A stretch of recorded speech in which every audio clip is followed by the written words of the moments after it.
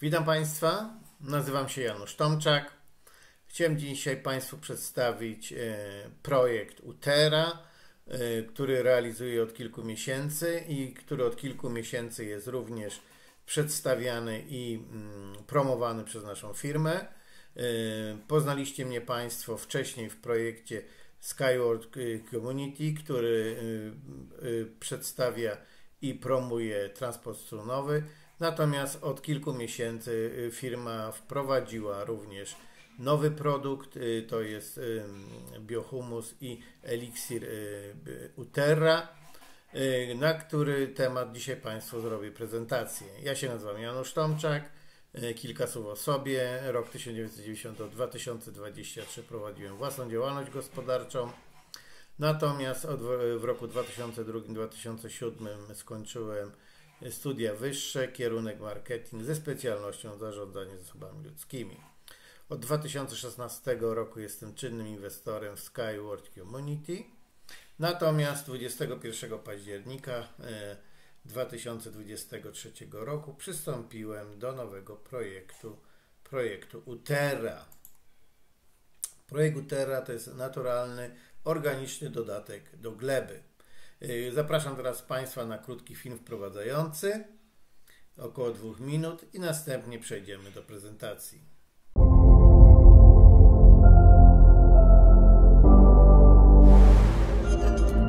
Życie jest nierozerwalnie związane z glebą.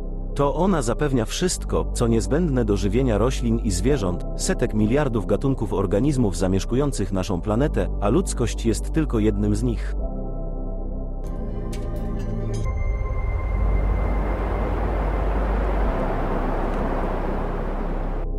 Jednak zmiany zachodzące w glebie pod wpływem przemysłu stworzonego przez ludzi zagrażają wszystkim żywym istotom.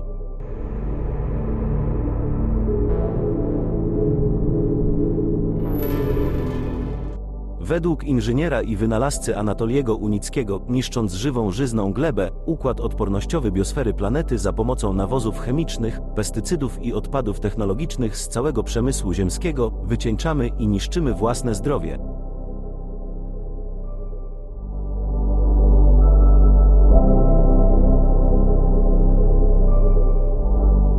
Jeśli kiedykolwiek kopaliście ziemię, wiecie, że na jej wierzchu znajduje się ciemniejsza warstwa gleby. Weźcie ją do ręki, ugniećcie, znajdziecie tam wiele korzeni i na wpół zgniłych roślin. To jest warstwa humusu, żywa i żyzna. Sama ziemia w swej nieskazitelnej postaci. Dla roślin bardzo ważne jest, w jakiej glebie rosną. Humus zawiera prawie cały układ okresowy w postaci złożonych związków organicznych, nierozpuszczalnych soli i kwasów humusowych. Ale współczesna żywność tego nie ma, ponieważ, po pierwsze, uprawia się ją na glebie zatrutej pestycydami, substancjami rakotwórczymi i odpadami przemysłowymi,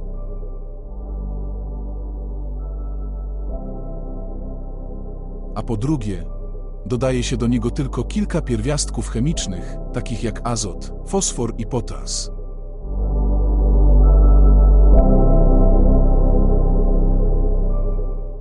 Mieliście Państwo okazję zobaczyć e, bardzo e, e, dobry, krótki, wprowadzający film na temat naszej działalności, projektu UTERA. Natomiast ja bardzo Państwa zachęcam do wzięcia udziału z obejrzeniem filmu doktora Anatoliego Junickiego przedstawiający projekt Utera, e, który znajduje się na YouTubie. Tu macie Państwo link do niego. E, ci z Państwa, którzy nie, nie są rosyjskojęzyczni, tłumaczenie za pomocą translatora. Mm, proszę Państwa, kilka problemów, z którymi stykamy się na dzień dzisiejszy i na które będzie miał odpowiedź nasz e, biohumus Utera. Otóż e, do 2045 roku w problemie pustynnienia gleb będzie produkowane około 40% mniej żywności. 95% żywności na całej Ziemi pochodzi z gleby, jak również 95% wszystkich antybiotyków również pochodzi z gleby. Takim palącym problemem jest również to, że do 2030 roku w Indiach z powodu groźby głodu wyemigruje do miast blisko 200 milionów ludzi i co to się przeniesie na kolejne problemy. A od roku 1990 w Afryce toczy się i toczy się około 30 wojen, a 20 z nich toczyło się wyłącznie w imię pozyskania ziem uprawnych. E, mamy kilka takich problemów. Pierwszy z, nich, e, z tych problemów to jest pustynnienie gleby. E, zachodzi ten proces na świecie. Ilość materii organicznej w glebie przekracza krytyczny poziom około 3% i stale maleje. Drugim palącym problemem jest zubożenie gleb. W wielu krajach gleba obumiera. Mówi się o tym wielu wpływowych naukowców, biznesowych myślicieli, jak również przedsiębiorców. Kolejny problem to zagrożenie głodem. Głód jest największą bronią masowego rażenia na świecie. E, wszystkie produkty wytwarzane przez rolników na początku XX wieku zawierały o 90% więcej mikroelementów niż obecnie. Teraz otrzymujemy tylko 10% przydatnych elementów, których y, potrzebujemy. Żywa gleba to dziedzictwo, które otrzymujemy od poprzednich pokoleń i przekazujemy przyszłym. Możemy powstrzymać katastroficzną gospodarkę, natomiast możemy skierować przyszłość w stronę innego wektora rozwoju miast, zamiast tego, który nieuchronnie czeka nas teraz. E, słowa te wypowiedział e, nasz e, konstruktor, główny inżynier i twórca i współtwórca biohumusu Terra, pan inżynier Anatolii Junicki. Centrum Kontroli Zapobiegania Chorób stwierdziło, że 100% populacji Ameryki Północnej ma niedobór potasu, 90% niedobór witaminy E, 70% niedobór witaminy K, 52% niedobór magnezu, 43% niedobór witaminy A, a 40% niedobór witaminy C. E, co musimy wprowadzić do gleby, by poprawić jej jakość? My mamy na to odpowiedź. Oczywiście naszą odpowiedzią będzie eliksir glebowy Utera. To biologicznie aktywny nawóz roślinny zawierający e, rozpuszczalne sole kwasów humoinowych, kwasów luwowych, huminy oraz spektrum cennych rolniczych, rolniczo-mikroorganizmów o wyższym stężeniu niż bogate w ziemię czarnoziemie.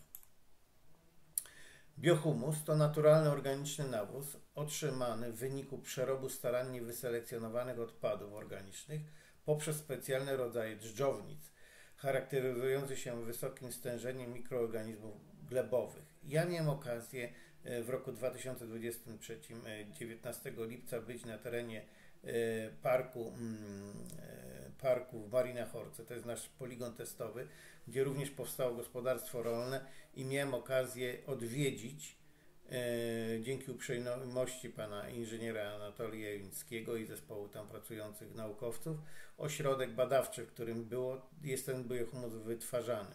I tutaj macie właśnie Państwo na zdjęciu pokazane, jak pan Anatolii Junicki trzyma w rękach e, glebę, w której są właśnie te specjalnie wyhodowane drzownice. E, biohumus użyty do produkcji eliksiru glebowego teraz stosowany jest jako substancja samodzielna. Natomiast, aby jego wzmocnić e, i przywracanie mm, zdrowia gleby, zaleca się go stosowania włącznie z eliksirem glebowym Utera. E, biohumus Utera zawiera kompleksy, kompletny kompleks minerałów, enzymów, witamin, a także mikro i makroelementów niezbędnych do wzrostu i rozwoju roślin jest nieszkodliwy w każdym sterzeniu, co zostało udowodnione podczas badań i testach na różnych gatunkach uprawy roślin. E, po co nam ten biohumus jest potrzebny? Przede wszystkim gwarantuje zbiory przyjazne dla środowiska, wzmacnia odporność roślin i przywraca żyzność zdegradowanym ziemią. Jest 100% nawozem organicznym. Polepsza e, kiełkowanie nasion i stymuluje wzrost zwiększa odporność roślin na choroby i ekstremalne temperatury. Wzmacnia naturalny smak owoców. Przywraca żyzność gleby w ciągu jednego zaledwie sezonu. Przyczynia się do wytwarzania produktów smacznych, zdrowych, przyjemnych dla środowiska i przyjaznych. Miałem okazję, jak Państwu wcześniej wspomniałem, być na terenie e, naszego ekotechnoparku i tego gospodarstwa bio, e, biologicznego. a także zostaliśmy zaproszeni przez organizatorów tego naszego spotkania na obiad, e, który był całkowicie wytworzony i zrobiony ze wszystkich produktów, jakie się znajdowały na terenie tego gospodarstwa. Wszystko było bardzo smaczne, świeże, pachnące E, to była taka żywność, takie smaki, jak my pamiętamy z dzieciństwa, gdzie to się jeździło na wieś do dziadków, gdzie to wszystko jeszcze było, drodzy Państwo, nie takie jak w tej chwili jest, że ta żywność jest e, pełna tych chemicznych dodatków i w zasadzie, jeżeli jej tam nie doprawimy w jakiś swój sposób, to ona jest nawet e, mało smaczna. Natomiast tam wszystko smakowało wyśmienicie, łącznie z pierwszym daniem, drugim i deserem.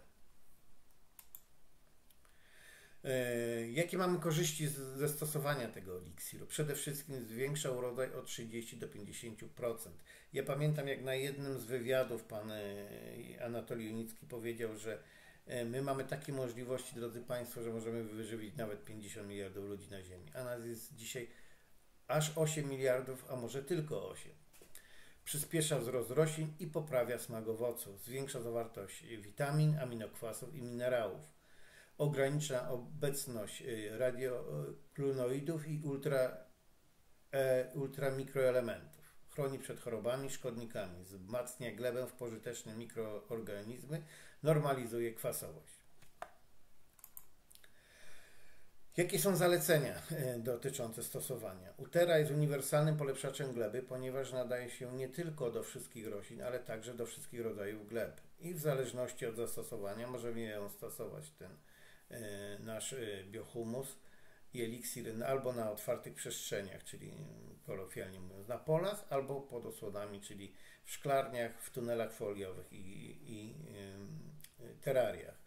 E, stosowanie w przestrzeni otwartej, czyli na polach, to jest od 15 do 100 gram na 1 metr kwadratowy, w pomieszczeniach zamkniętych od 0,5 do 2 gram na metr kwadrat.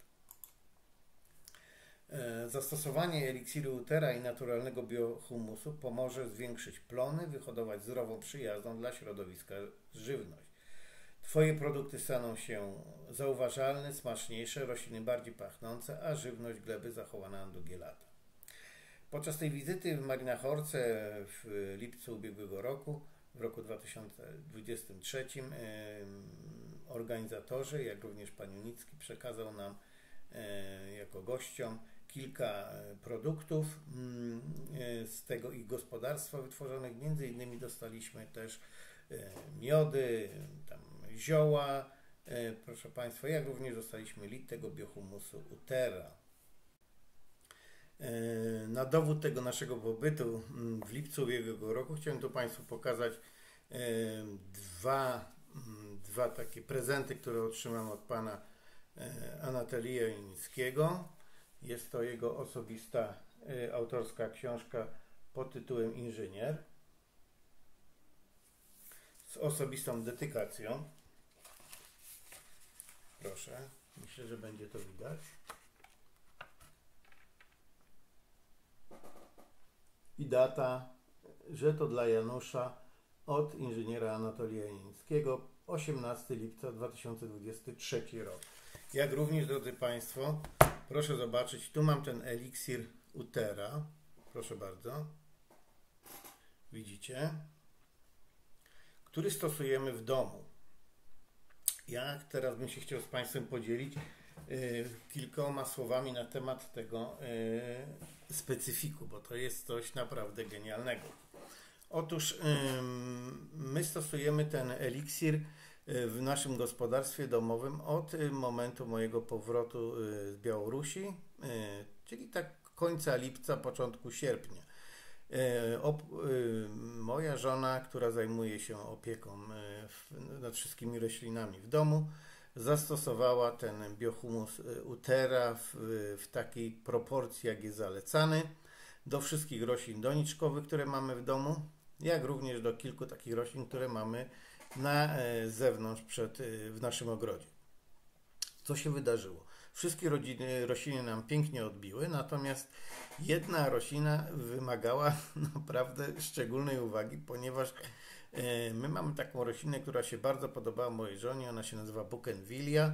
Byliśmy kilka lat temu w Turcji i się mojej żonie bardzo ta roślina spodobała. Natomiast ze względu na nasze warunki atmosferyczne w Polsce. No wiadomo, te lata są krótsze, nie, niektóre dni są bardzo gorące, ale taka średnia temperatura to jest dużo niższa jak w Turcji w okresie wegetacji.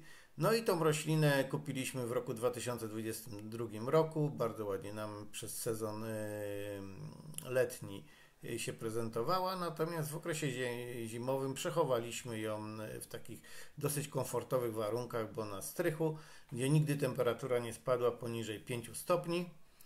Natomiast w roku tym 2022, jak ją przenieśliśmy znowu na powietrze, bardzo długo nam ta roślina nie mogła odbić, czyli nie, po prostu kolokwialnie nie zakwitła. I co się okazało, drodzy Państwo, po dodaniu tego eliksiru, to było na początku lipca, ta roślina po kilku dniach nam pięknie odbiła, y, zaczęła bardzo ładnie kwitnąć i cieszyła nasze oczy przez miesiąc cały y, sierpień i jeszcze długie dni w miesiącu wrześniu. Także ja mam osobisty dowód na to, że ten biohumozutera działa. E, proszę Państwa, następnym problemem, który jest takim dosyć znaczącym, jest to, że przez to, że my w tej chwili mamy te nawożenia takie chemiczne, to my tą ziemię najnormalniej w świecie zatruwamy. I teraz, jeżeli byśmy zastosowali ten nasz biohumus i eliksir utera do wzmacniania i użyźniania tych gleb, to moglibyśmy te jej właściwości przywrócić w zaledwie 15 do 20 lat. Natomiast jeżeli będziemy nadal stosować takie e, środki ochrony roślin chemiczne, jakie są do tej pory, może nam to zająć nawet i lat 150, więc perspektywa jest nieciekawa. E, zrównoważony klaster e, biosfery to jest produkcja wysoko, wysoce skutecznego organicznego nawozu doglebowego dla roślin. I w Zjednoczonych Emiratach Arabskich w strefie ekonomicznej Ras Al Khaimah, Rakes, E, my będziemy i stawiamy tam e, taki biosferyczny kompleks szklarniowy, który jest zorganizowany w tej strefie. Ta strefa Rakes to jest jedna z takich najbardziej ekonomicznych i najbardziej korzystnych stref, ponieważ tam już się znajduje ponad 770 wiodących firm produkcyjnych ze 100 krajów i 50 branż. E, ta strefa ma bardzo dobre zalety, jeżeli chodzi o swoją lokalizację ponieważ daje możliwość wykorzystania opłacalnych rozwiązań w trakcie realizacji projektów, ma wygodne opodatkowanie i bardzo dobrą bliskość głównych węzłów logistycznych. E, będzie się ta ta nasz, ten klaster zrównoważony znajdował na powierzchni blisko 3,2 hektara. Tutaj widzicie Państwo twórcę naszego pana Anatolia Janickiego w towarzystwie e, naszych e, dyrekcji. Ta nasza platforma, ten nasz kompleks do całorocznej uprawy ekologicznych warzyw, owoców i o wysokiej wartości odżywczej i jakości będzie e, dawał plony. Początkowo będzie to około 50 kg na metr kwadratowy powierzchni szklarniowej, a wydajność początkowa to 100, 100 ton produktów ekologicznych rocznie. Po 5 latach to już będzie 300 ton.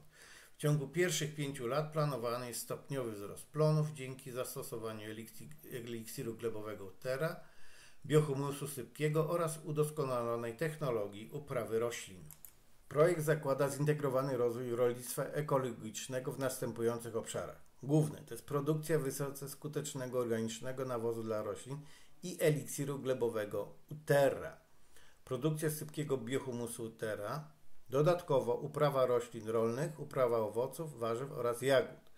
Ekologiczna hodowla zwierząt, hodowla przepiórek, uprawa cennych i leczniczych grzybów i roślin.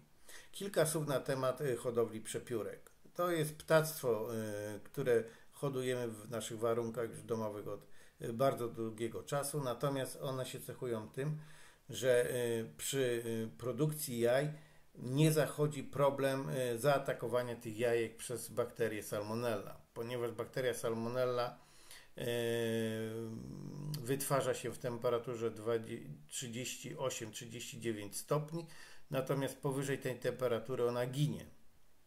Ale z tego względu, że przepiórka ma temperaturę ciała swojego 42 stopnie, jaja również znosi w tej temperaturze, to takie niebezpieczeństwo już na początku drogi jest zażegnane. Nasze podstawowe zasady. To jest użycie naturalnych składników na każdym etapie, produkcja naturalnej organicznej żywności, bezodpadowe wykorzystanie wszelkiego rodzaju surowców i komponentów. I zastosowanie praktycznego podejścia opartego na nabytym doświadczeniu i wiedzy naukowej. Nasze zastosowanie kompleksu to będzie przede wszystkim ta produkcja glebowego eliksiru utera, na bazie płynnego biohumusu, poprawa zdrowotności i żywność każdej gleby, uprawa roślin rolnych, owocowych, warzywnych i jagodowych dla mieszkańców Zjednoczonych Emiratów Arabskich. Produkcja sypkiego biohumusu Tera w celu zwrócenia, przywrócenia żyzności gleb zdegradowanych, jałowych i pustynnych. Tak jak mówiłem już w ciągu jednego sezonu, ta, te właściwości się bardzo poprawiają. I ekologiczna hodowla zwierząt, hodowla przepiórek oraz uprawa cennych grzybów i roślin leczniczych.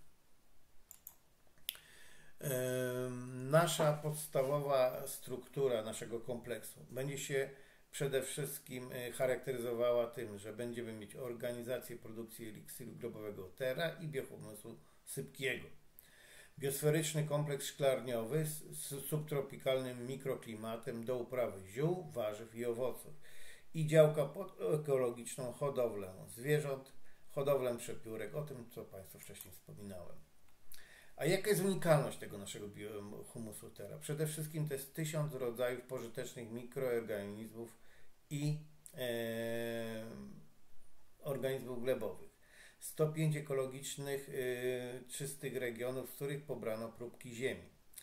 I proszę Państwa, tutaj mam dla Was taką informację. W roku 2019 na organizowanym przez naszą firmę Skyward Community, firmę macierzystą Pana Nickiego, e, na tak zwanym ekofestiwalu e, w 2019 roku e, była taka informacja, żeby na, na, ten, na ten festiwal uczestnicy, goście, inwestorzy przywieźli po 2 kg ziemi ze swoich regionów, w których tam mieszkają, w takich e, woreczkach bawełnianych i ta ziemia między innymi posłużyła do e, przeprowadzenia badań i wytworzenia e, tego biohumusu. Dzięki naszym produktom e, produkty staną się zauważalne, smaczniejsze, rośliny bardziej pachnące, a żyzność gleby zachowana na długie lata. I ja jestem y, doskonałym przykładem i mogę Państwu z pełną odpowiedzialnością powiedzieć to, że miałem okazję, jak wcześniej wspomniałem, próbowania tych produktów, a również na własnym przykładzie w domu wiem, jak nasze rośliny działają po zastosowaniu biohumusu. Y, nasze produkty mają oczywiście wszelkie badania, certyfikaty y, na biohumus, na eliksir glebowy i na płynny organiczny kompleks do nawozów roślin Utera i Utera Oasis. One są zarówno w języku angielskim, jak i w języku rosyjskim i białoruskim. A są prowadzone przez e, białoruskie instytuty, to jest Republikańskie Przedsiębiorstwo Unitarne Instytut Gleboznawstwa i Agrochemii, Państwową Instytucję Naukową Instytut Zarządzania Przyrodą Narodowej Akademii Nauk Białorusi i Białoruską Izbę Przemysłowo-Handlową. E, na świecie, proszę Państwa, jest bardzo duże zapotrzebowanie na nawozy. Wiemy, że w większości są to w tej chwili nawozy sztuczne. Natomiast wartość tych nawozów na rok 2021 to już był obrót blisko 200 miliardów dolarów. I globalny popyt na nawozy napędza wzrost produkcji nawozów w regionie Zatoki Perskiej. I według prognoz ilość nawozów organicznych, roślinnych, zwierzęcych i mineralnych wzrastać będzie w skali około 6% rocznie, ponieważ świat zmierza w stronę produktów bezpieczniejszych, zdrowszych i pełnych wszelkich niezbędnych mikroorganizmów. Natomiast na tutejszej tabeli macie Państwo pokazane procentowo, jakie ilości są wykorzystywane tych nawozów. I tak Afryka mm, pozyskuje ich około 7%, Północna Ameryka 15%, y, Ameryka Południowa 21% i największe zapotrzebowanie jest oczywiście w krajach azjatyckich, bo 55% ze względu na ogromne ilości ludności tam zamieszkało, jak również y, sprzyjający klimat do ich uprawy. My mamy dla Państwa propozycję, abyście wsparli ten projekt, budowę tego naszego naszego tego klastra, proszę Państwa, i mamy dla Was ofertę, którą możecie zrealizować na zasadzie takiej pięcioletniej inwestycji, mm, zarówno w formie jednorazowej, jak i na raty, czyli na 10 rat. I ta budowa tego zrównoważonego klastra bio, biosfery e, będzie realizowana przez najbliższe e, kilka lat. E, po pięciu latach inwestor, który włożył swoje środki, może te, te pieniądze wycofać. Natomiast ci inwestorzy, którzy zostaną z nami w projekcie, będzie im przysługiwała dożywotnio dywidenda oraz prawo do wypłaty, do wypłaty odsetek i zysku. Oczywiście nie musimy się wycofywać z takiego wspaniałego biznesu, no bo proszę Państwa, e, perspektywa tego jest na bardzo długie lata, o której za chwilę powiem. I e, w zależności od tego, jak, na jakim poziomie się zaangażujemy finansowo, i to według tej taryfy będziemy mieć wypłacane później nasze e, zyski od tabeli e, zysku. E, I teraz proszę Państwa, jest jeszcze bardzo ważny aspekt tego naszego tutaj projektu, ponieważ jest to możliwość dziedziczenia. Mamy prawo dziedziczenia tego naszego biznesu, czyli możemy go przekazać naszym dzieciom, wnukom. A mm, w naszej strefie, czyli pochodzących tutaj inwestorów ze strony wschodniej Europy. Y, mamy ten problem, że u nas ciężko było zbudować biznesy wielopokoleniowe ze względu na, na miejsce, w jakim się znajdujemy, ponieważ y, przez nasze kraje przechodziły tam dwie wojny światowe, rozbiory, proszę Państwa, i ta sytuacja ekonomiczno-gospodarcza była dla nas niekorzystna. Po II wojnie światowej znowu byliśmy 40 lat pod panowaniem bloku wschodniego sowieckiego, a teraz budujemy swoją przyszłość od blisko 20-30 y, lat, proszę Państwa, w nowej, y, w nowej perspektywie, takiej wolnościowej, jak również i biznesowej. I mamy y, możliwość zbudowania biznesu, który przekażemy naszym dzieciom albo wnukom. I inwestorzy będą otrzymywać swoją część zysku zgodnie z umową przez cały okres funkcjonowania projektu. Nasz zrównoważony klaster biosfery to jest maksymalna, długoterminowa inwestycja.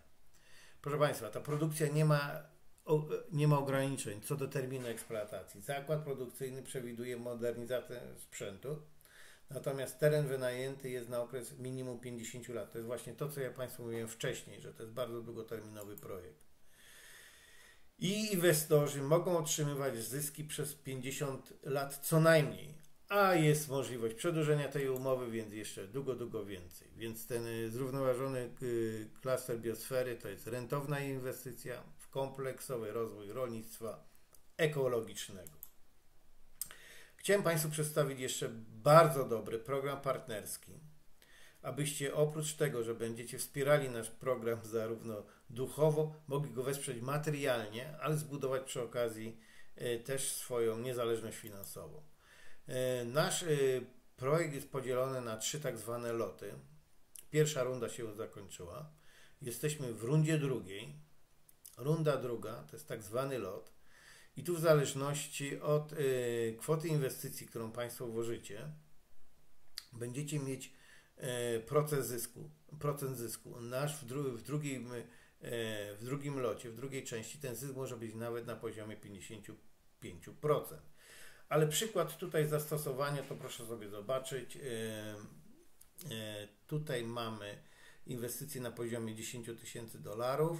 E, procentowy zysk to jest około 40%. Na raty będzie to 37%, bo mamy dwa rodzaje, o których za chwilę powiem. I teraz oczekiwany zysk spółki, proszę Państwa, to jest 20%, to jest około 800 dolarów.